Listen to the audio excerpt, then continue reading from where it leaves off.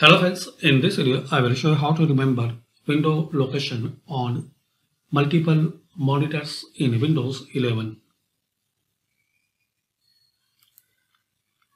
Click on Start, Settings. Now here guys click on Display.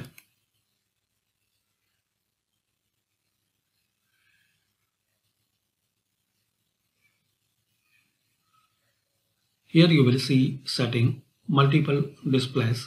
Click here. Now just guys you have to check this box. Remember window locations based on monitor connection.